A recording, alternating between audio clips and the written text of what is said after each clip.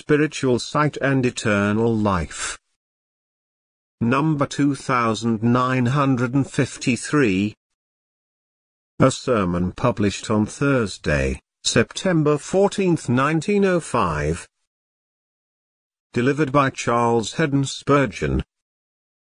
At the Metropolitan Tabernacle, Newington, on Thursday evening, June 3, 1875. Yet a little while, and the world sees me no more, but you see me, because I live, you shall live also.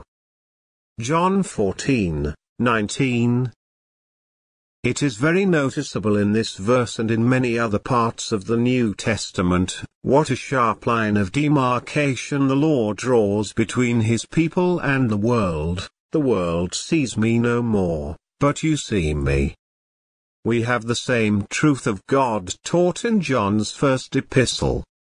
We know that we are of God, and the whole world lies in the wicked one. It is quite evident that our Lord kept prominent in his teaching the distinction between the regenerate and the unregenerate, the converted and the unconverted, those who have been quickened by the Holy Spirit and those who have remained dead in trespasses and sins.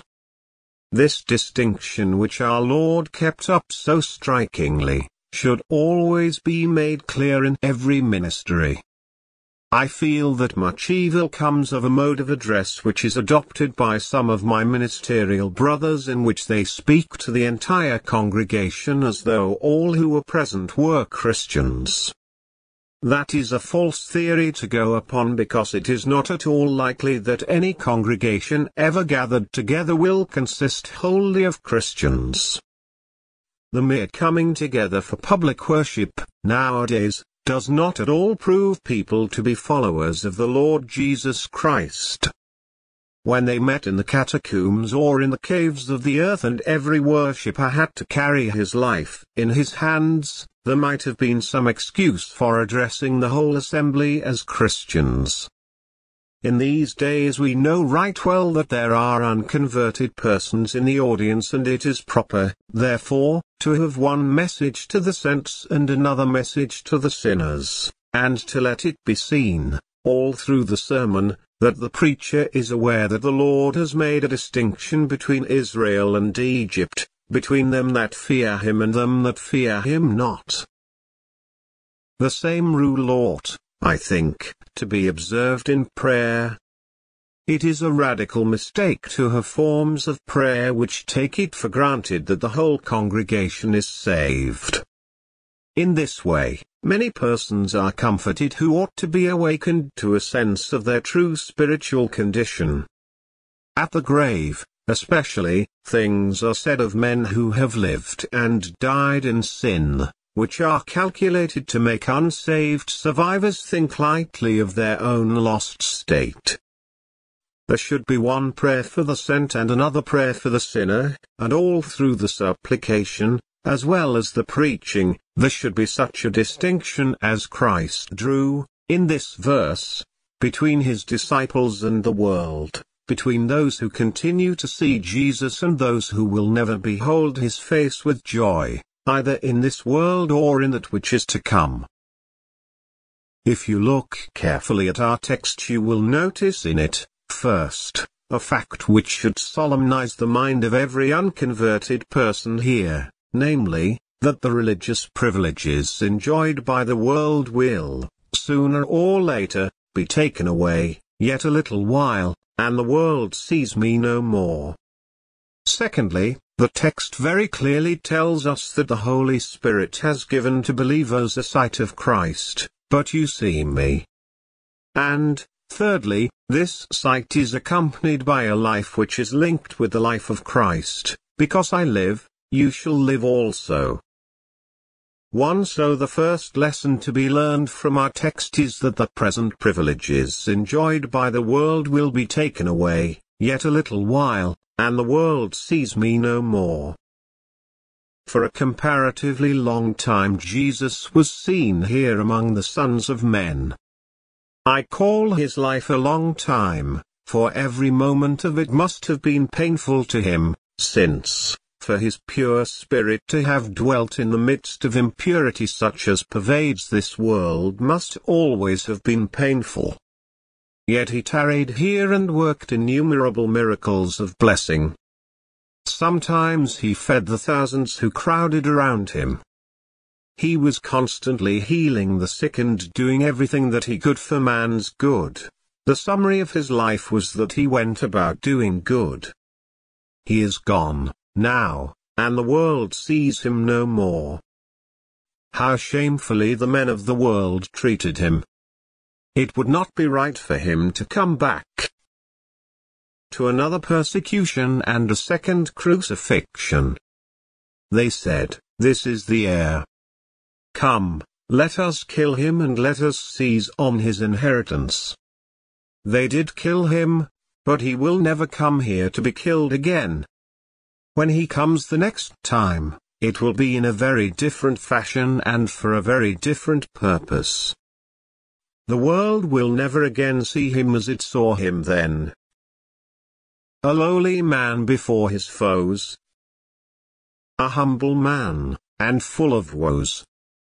No, earth, you have lost your miracle worker. You sick ones, you have lost your great physician. You hungry ones, you have lost him whose blessed hands fed you. Never again will the weeping Mary and Martha see their brother raised to life. Never again will sorrowing widows have their dead sons restored to them from the grave's mouth. No, Jesus has gone and all the blessings which he was known to bestow have ceased to be given for the world sees him no more. It will see him again, certainly, but in a very different fashion, it will not see him as Saviour, a friend and physician, it will only see him with the rod of iron in his hand, passing sentence upon those who said, We will not have this man to reign over us. Now, what has taken place as to the physical sight of Christ by the sons of men will take place with all of you as to your mental sight of Christ unless you receive from the gospel an inner and spiritual sight of Him. All of you have, in a certain sense, seen Jesus Christ. I mean that when the Sabbath bells ring out, you are accustomed to go where you hear concerning Christ and His great salvation. The you sit and Jesus Christ is set forth evidently crucified among you, and blessed are your eyes, for they see, and your ears, for they hear what prophets and kings in vain desired to see and hear concerning Christ in days of yore. You go to your houses and there is that precious book, the Bible, which contains the image of your Saviour's face almost on every page. Your family altar brings Jesus very near even to some of you unconverted ones. The kingdom of God has, indeed, come near to you. Nowadays Jesus Christ is preached in almost every street. A man need not go far, especially on the Sabbath, if he wants to hear about Jesus Christ. So far as the hearing with the ears is concerned, he may be heard of almost everywhere. But it will not always be so. Some of you will soon go where the Sabbath bell is never heard. You will go where Sabbaths, themselves, are all unknown, except as dreadful memories of shamefully neglected privileges. You will go where no minister will tell you of grace, and mercy, and pardon bought with blood. You will go where you will never hear the music of those charming bells, free grace and dying love. The very opposite sound to that will forever grate upon your ears. There will be no godly teacher that to urge you to seek the Lord in your youth and to give him your heart while you are yet young. There will be no loving parents there, with tears, sighs and pious examples striving to lead you to Jesus. There will be no faithful preacher there, earnestly endeavoring, in simple language, to tell you the old, old story and to point you to Christ upon the cross. Only a little while and there shall be no Bible for you to read, no mercy seat to which you can go, no promise which you can plead, no blood of Jesus in which you can ask to be washed, for you will be beyond the line of help and beyond the reach of mercy. You will be in hell. I am sure that if I had to come to you and say that I had received a revelation from heaven telling me that never again would some of you be permitted to attend a place of worship, never again to read your Bible, never again to kneel in prayer, but that you were forever to be denied all these eternal privileges, you would feel unhappy, indeed. I wish you felt something of that kind of unhappiness now because to have these privileges and yet to neglect them is as bad as, in some respects, it is even worse than, it would be to have the privileges taken away.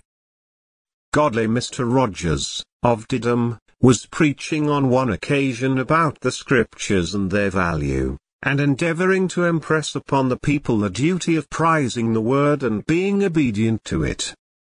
And, to bring the truth of God home very clearly to their consciences, he asked them to imagine that he was commissioned to take away the Bible from them. He took it up from the pulpit and turned round with it in his hand. There, he said, you are never to have it again. It has been a dreary book to many of you, you have not cared for it and you have neglected the reading of it so I must take it away and you shall never hear another sermon from it, or hear anything more read from it. Then he pictured them all weeping and begging that the book might be brought back to them again. And I would that, even though the Lord should not take these privileges away from you while you are in this life, you might nevertheless prize them, for this life will soon be ended, and then these privileges will be gone forever. Notice also that our Saviour said, Yet a little while, and the world sees me no more. Oh, it is such a little while even if we live the longest life that is possible to men.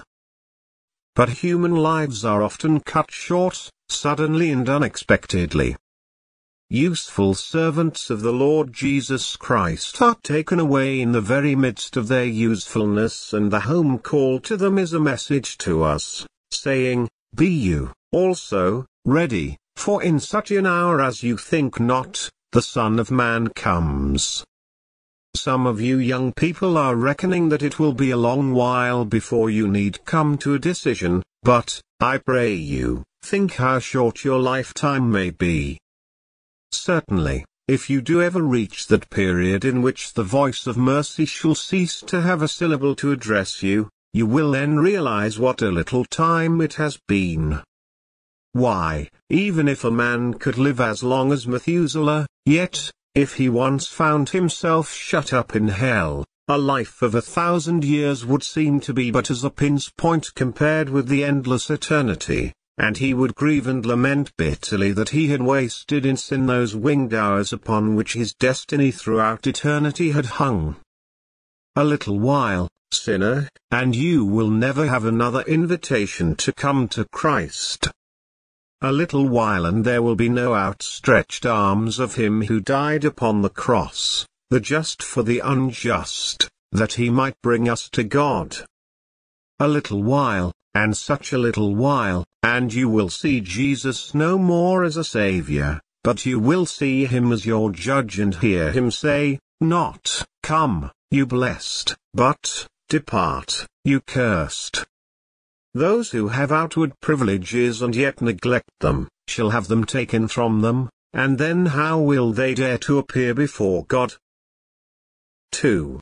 Let us now turn to the second point, which is far more sweet to our souls.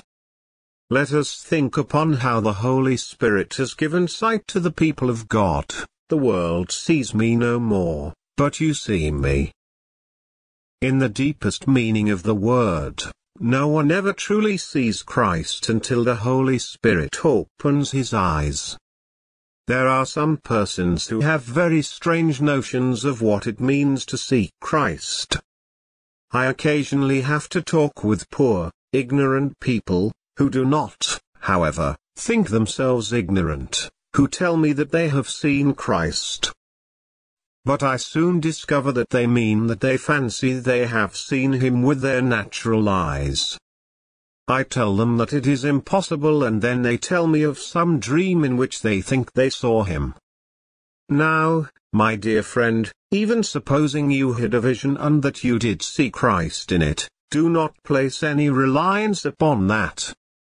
There is many a man who has had a vision of the devil, yet has gone to heaven, and there is many a man who has had a vision of Christ yet has gone to hell. There is nothing in that. Did not great multitudes who lived in the days of Christ upon the earth, see him with their natural eyes? Yet they were not saved. Many even stood around the cross and saw him die in that dread culmination of his life work, when he was paying the price of his people's redemption. They stood and gazed at him, but their hearts were not softened even by that matchless sight, for they jeered and jested while he was in his death throes. That which can be seen with these eyes is of little consequence.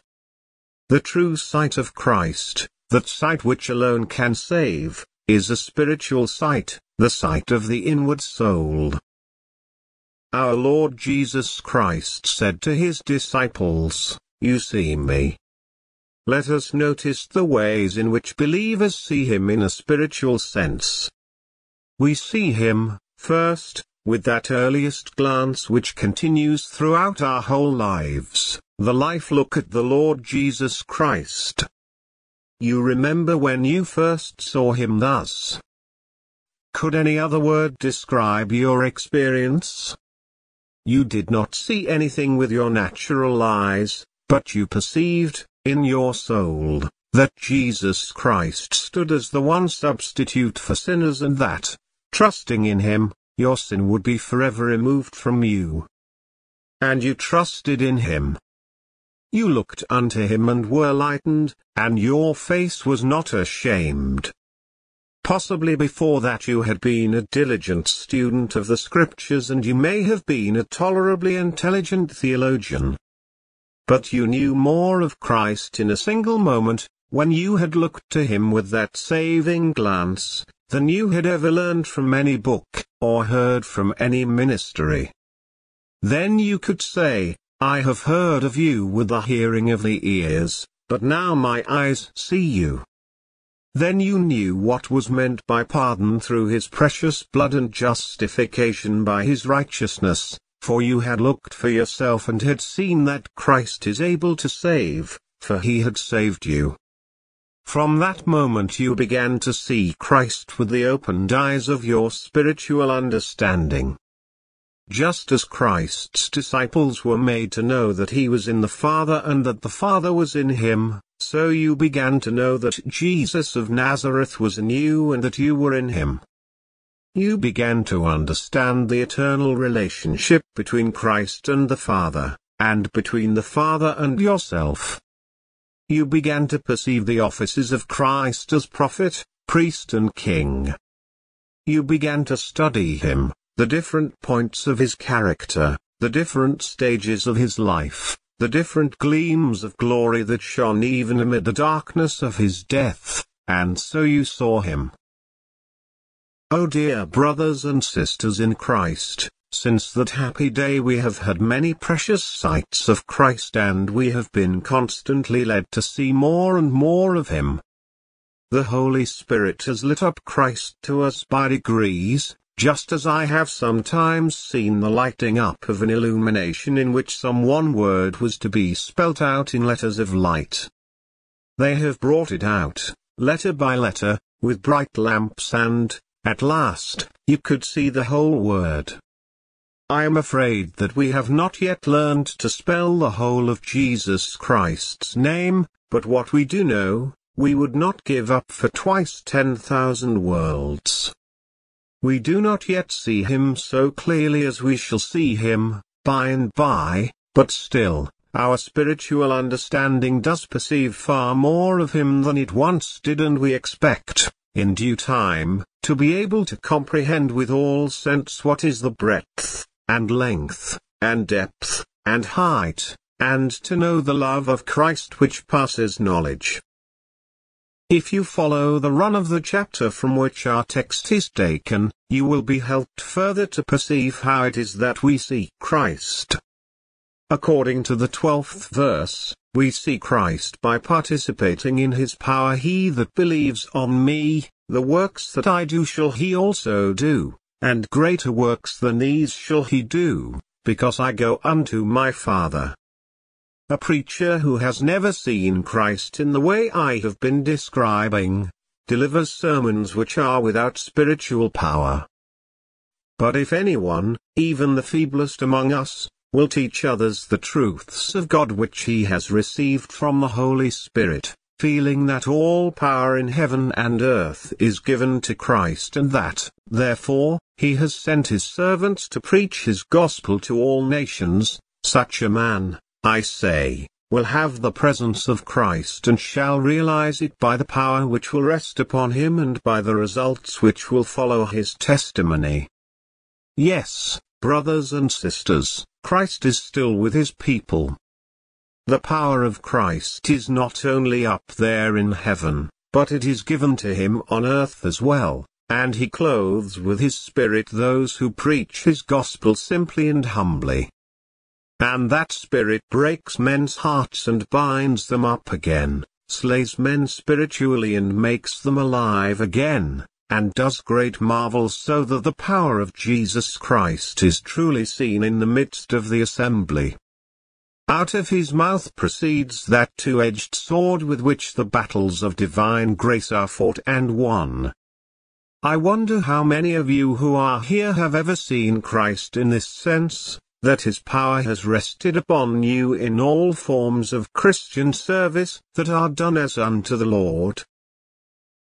If you have seen Christ thus, you have also seen him in the sense described in the 13th and 14th verses, pleading through you and with you in prayer, whatever you shall ask in my name, that will I do, that the Father may be glorified in the Son.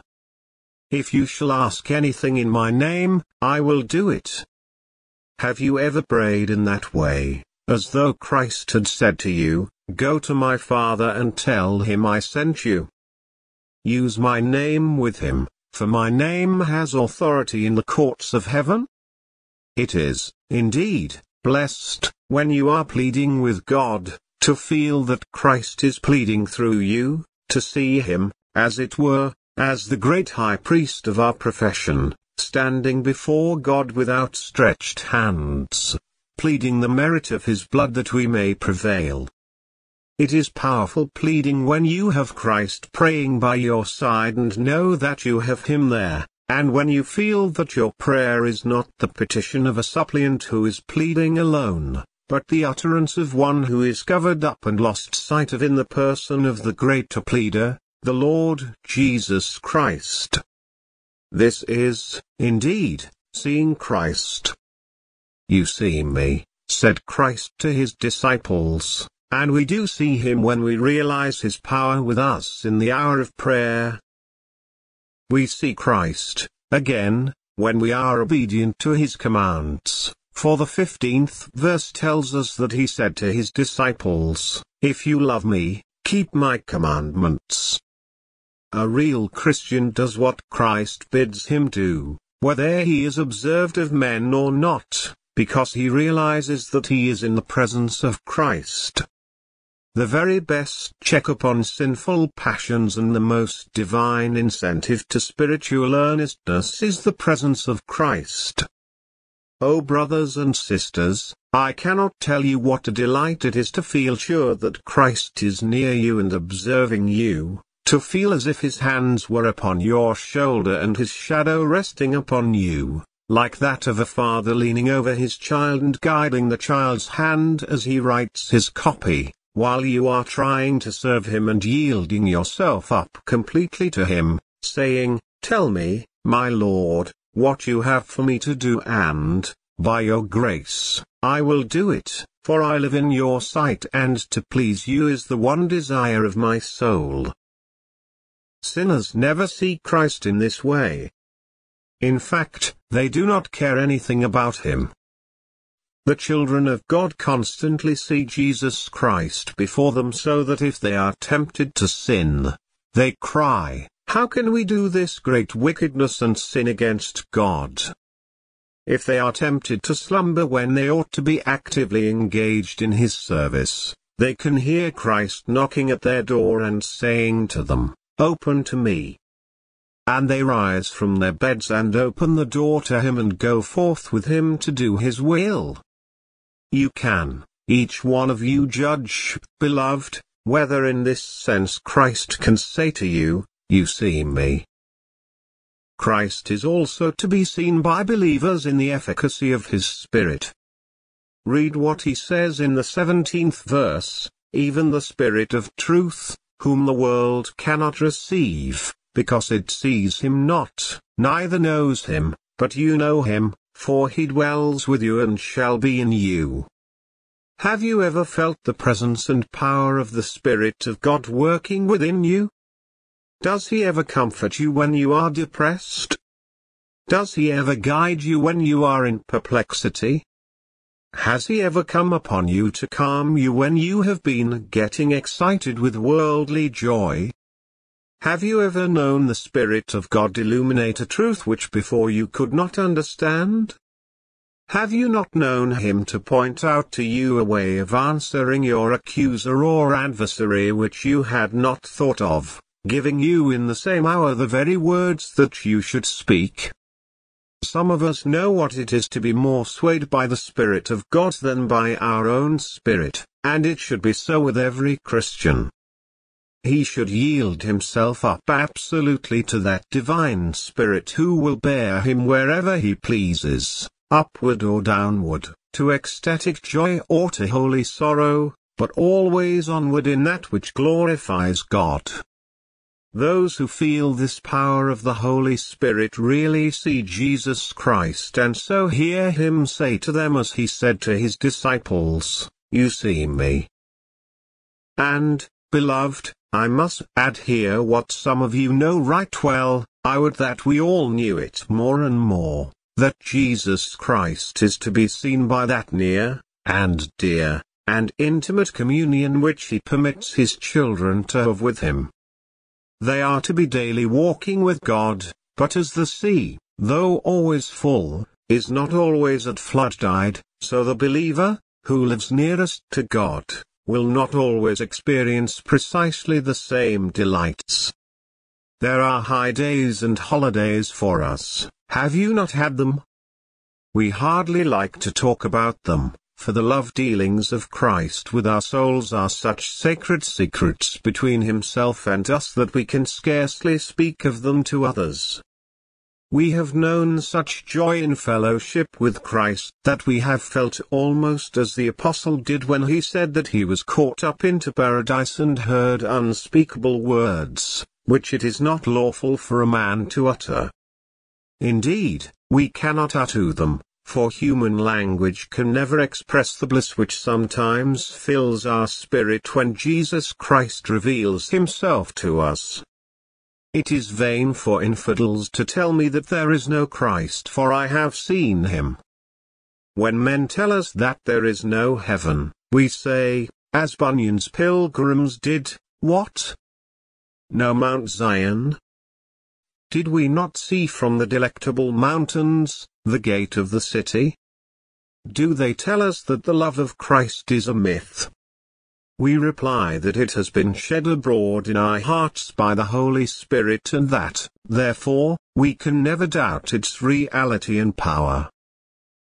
There is an individual who is accustomed to go down the sewers and who has no sense of smell, he has got no nose, a man told me once.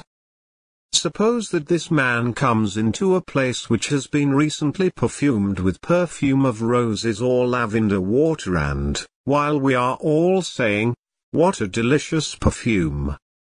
He says, I do not believe there is any perfume here. But we are sure that there is.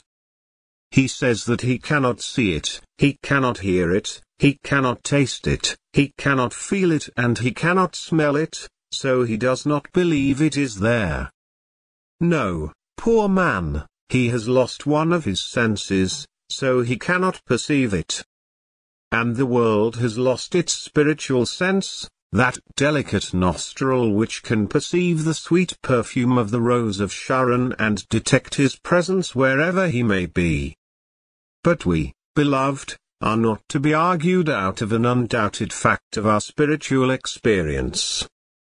It is useless to try to pervert a genuine Christian from the faith because he knows it, for he has tasted and handled it, and felt it. It is not a matter of opinion to him, but a matter of fact.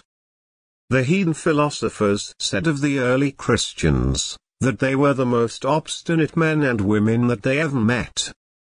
They said that the plainest arguments were lost upon them, for they clung to certain things which they asserted to be facts and no one could, by any logic whatever, induce them to deny those facts. If we are genuine Christians, we are of the same stamp as those early saints. We might change our opinions, but we cannot give up our knowledge of the great facts of our spiritual experience, and we do know that Jesus Christ has revealed himself unto us as he does not unto the world, and we dare not deny that it is so. He has given us such sweet fellowship with himself that only in heaven, itself, can we ever be happier. Sometimes we have seemed to sit on the very doorstep of heaven and have heard the music inside, and we have wondered whether they could be happier, there, than we were outside. We have felt that they must have larger capacity for joy than we had if they had more joy than we possessed, for we were as full of joy as we could be.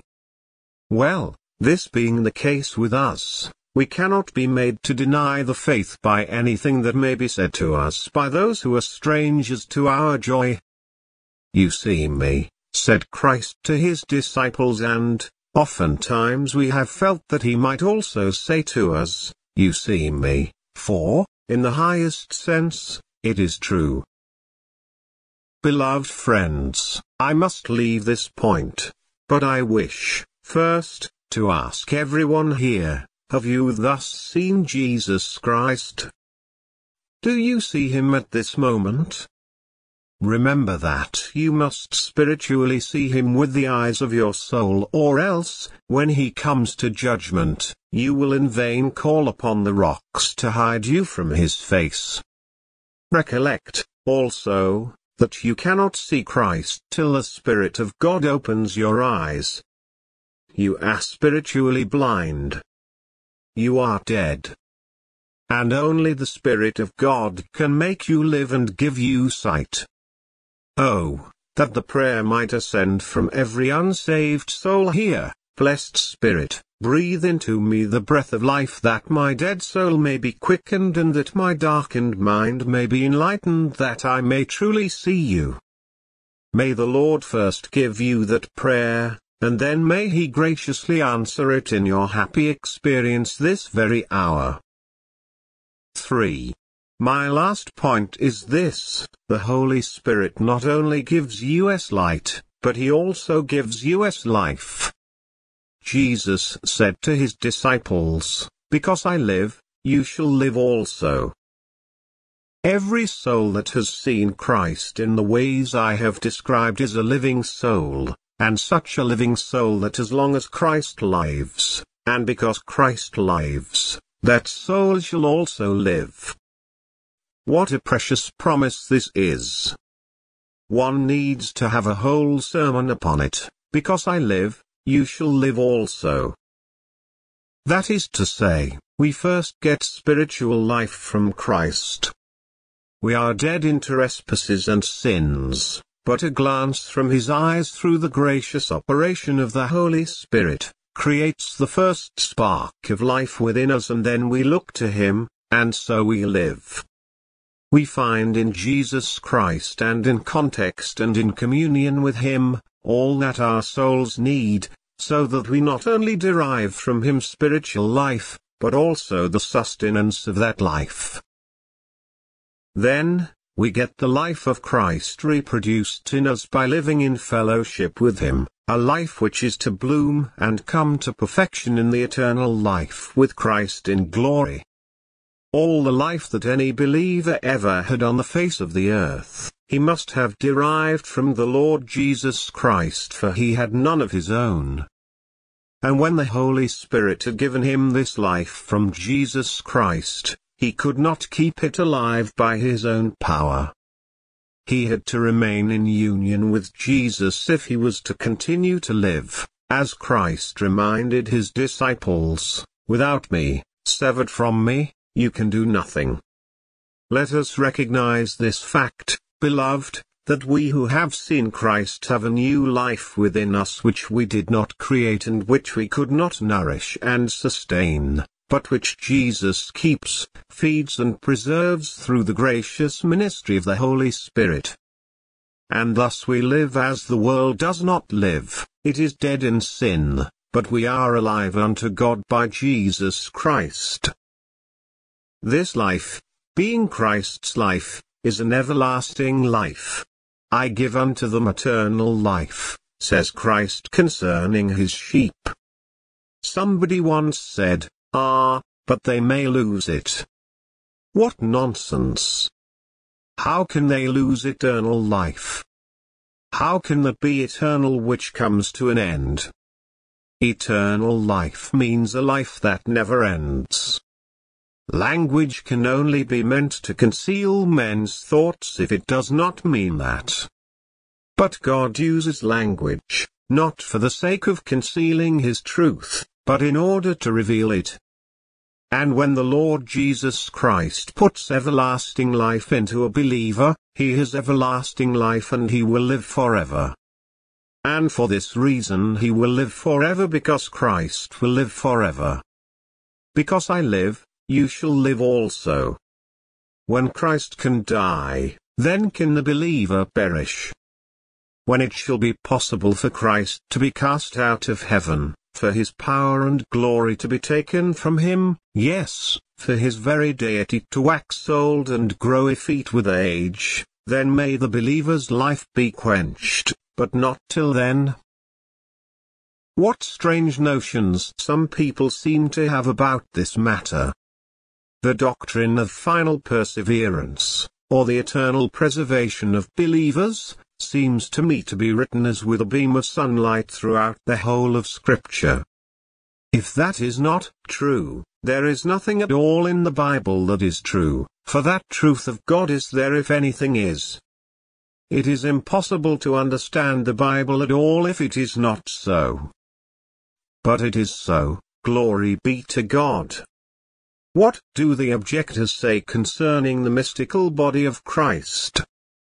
Do they suppose that Christ's body keeps losing its members, as lobsters lose their claws, and grow fresh ones?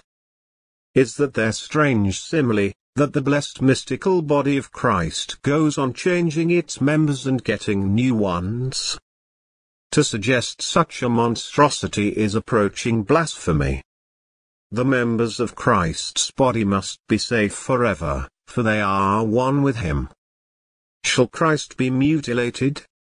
Shall he be cut in pieces and his beauty marred? That is impossible. Once in Christ in Christ forever. Nothing from his love can sever. He never did and he never can lose one of those who are in him.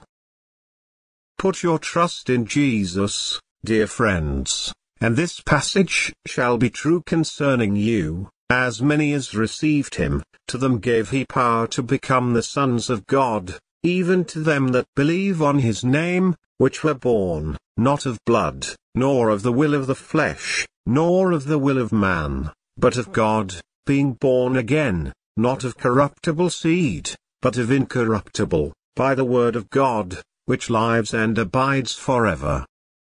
For all flesh is as grass, and all the glory of man as the flower of grass.